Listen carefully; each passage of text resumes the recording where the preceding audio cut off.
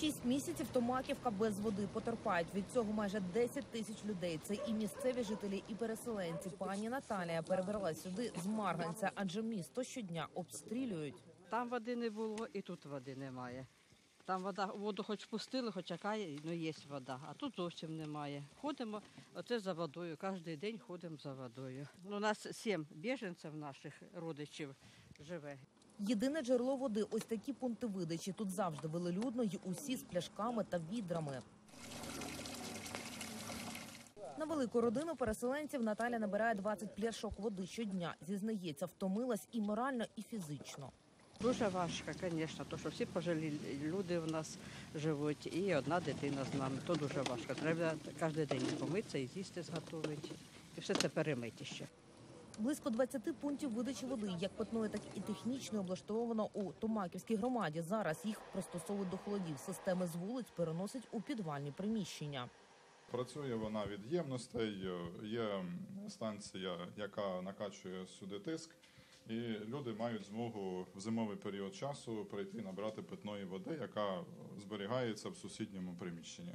Тут ми обладнали два, дві ємності по 24 куб, метра кубічних питної води.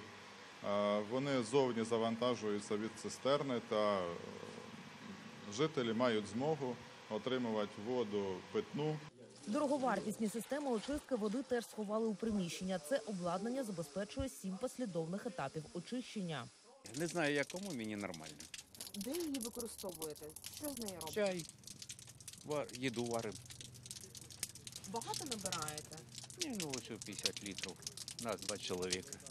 Без централізованого водопостачання у Томаківській громаді під загрозою опинився опалювальний сезон. Наповнення систем водою проводили мало не вручну.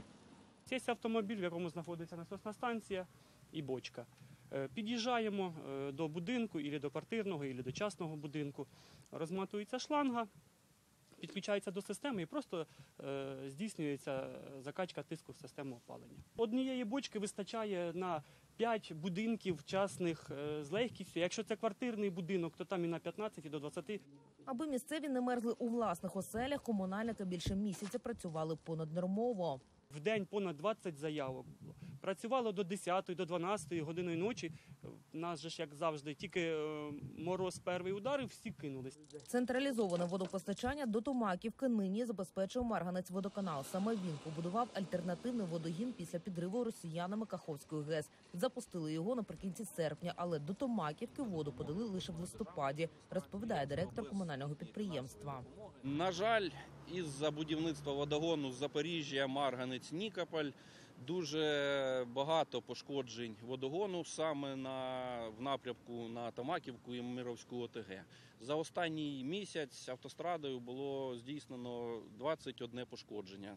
Нині пориви усунуто, і в місцевих кранах нарешті з'явилась вода. Тече вона лише добу, та й то не в усьому селищі, а ще низької якості, розказує Володимир. Вона понюхає. Ну, трошки є. Ну так, А чим, чим скажімо так, болотом. болотом трошки? Да, ставковою.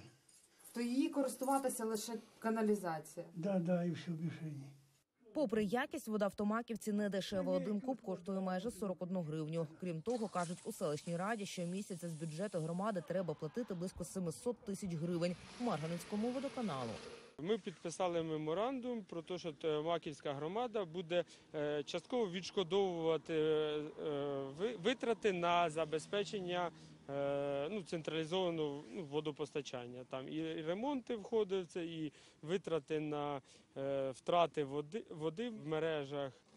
Втім, від послуг Марганецького водоканалу Томаківці згодом планують відмовитись. Хочуть приєднатися до магістрального водогону Запоріжжя Нікополь. Його наразі тільки будують. З Дніпропетровської області Олена Медалюк, Ярослав Засоба, подробиці телеканал Інтер, Марафон. Єдині новини.